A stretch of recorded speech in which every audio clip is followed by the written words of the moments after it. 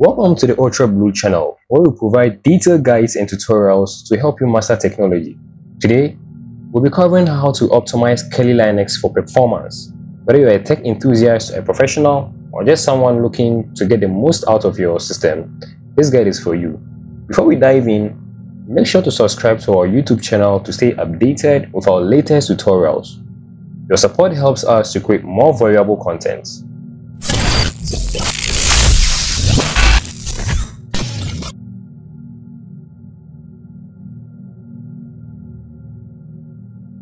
First step in optimizing Kali Linux is to ensure your system is up to date. Open your terminal and type in sudo apt update.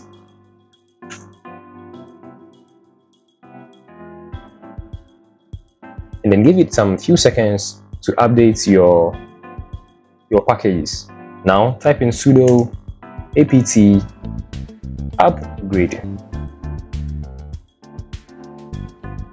Space hyphen y dash y. Then it's going to go ahead and upgrade the updated packages for you.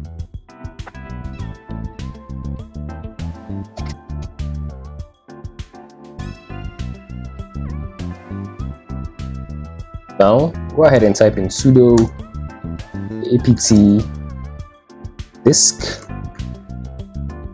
dash updates. Space hyphen y. And then hit enter. Um did i make a mistake? Sudo apt list. Uh yeah i made a mistake in the spelling. Hyphen updates. Space hyphen y.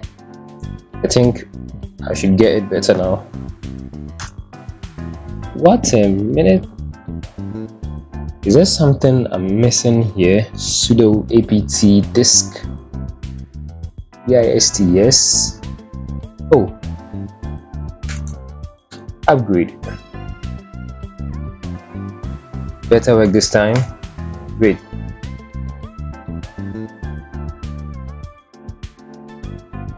So these commands will update the package list upgrade all installed packages perform a distribution upgrade.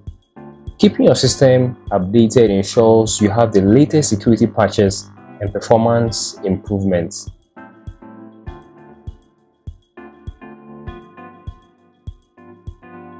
Next, let's remove any unnecessary packages that may be slowing down your system. Use the following command to identify and remove them. So first of all, let's type sudo oopsie let's type sudo followed by apt auto remove. Space hyphen y and then we hit enter once more.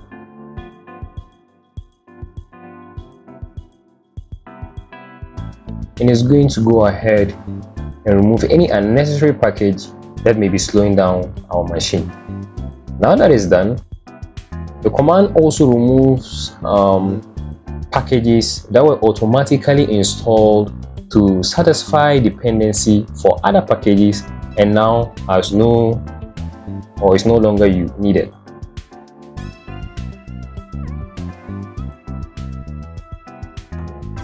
So since some services start automatically and consume system resources, you can disable unnecessary services to improve performance. List all services use a system. Oh, I, I think I had I once typed it again. So system um, system ctl space lists dash units dash files space dash dash type equal service. Then we hit enter. So this is going to go ahead and list all the services or it's going to identify all the services um, currently installed on your system.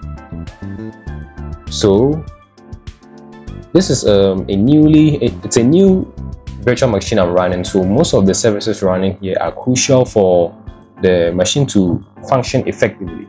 However if you've been using your machine for quite, quite a while now it's going to have tons of services running in the background which might not be needed. So if once you identify the services or the list of services you don't need or you don't require running in the background you can quickly disable them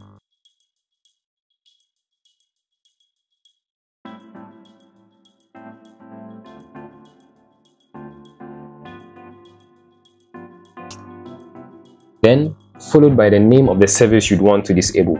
For instance let's say i wanted to disable um, let's say this service right here. So after writing the system the sudo system ctl disable then i'm going to go ahead and key in the name of the system i would like to disable. For instance if it was this one i'll simply copy it then i'll paste it here and then i'll hit enter however i don't know what that specific service does so i'm not going to disable it. Since i'm running a new um, virtual machine i think every single service as of now is required by the system. So i'm just going to leave it there.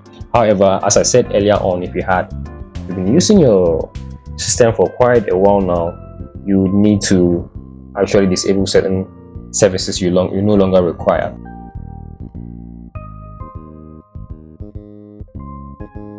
So now let's move on to installing another important tool called preload. So the preload is a daemon that runs in the background and analyzes user behavior to predict the application you are likely to run. It preloads these applications into memory, reducing their load time. So to install preload, type in sudo, let's clear this before. We type in sudo apt install preload space hyphen y and hit enter.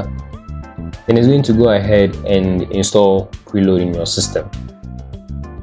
So once preload is done um, preload will start automatically and improve your system responsiveness over time. So that's what preload does. The next is to the next step in optimizing your system is to adjust the swappiness.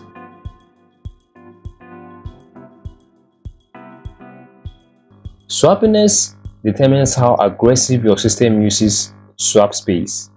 The default value is 60, but you can reduce it to improve performance. In order to get there, you have to open the system.config file. So to open it, just type in sudo nano etc slash sys ctl ctl dot conf enter. So now we want to add or modify the following lines to reduce swappiness. So in order to remove reduce the swappiness you can get a space preferably somewhere um, down here create some space and type in vm i like to put a space before so vm dot swappiness. Then let's say 10 once you are done you have to save changes to your work. So press ctrl plus o press enter ctrl plus x to exit out now that the file is saved so now let's go ahead and type in sudo sysctl then dash p and enter. And great we have our swappiness set to 10 now we have our swappiness set to 10 and we're, we're good to go.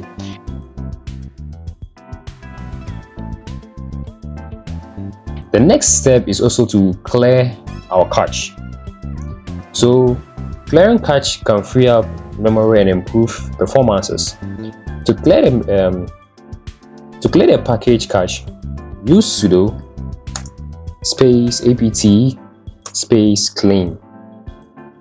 Hit enter and let it do its work. Another command you could also use is sudo apt auto clean.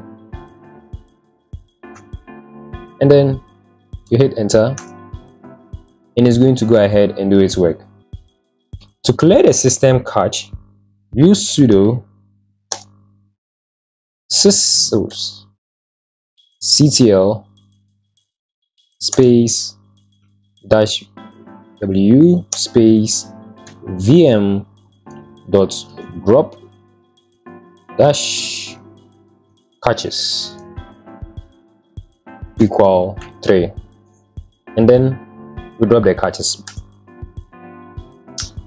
so in conclusion by following these steps you can optimize Kali Linux for better performances ensuring a smoother and more efficient experience don't forget to subscribe to the Ultra Blue channel for more tutorials and tech guides if you found this video helpful give it a thumbs up and share it with others your support helps us create good and more high quality content such as this one.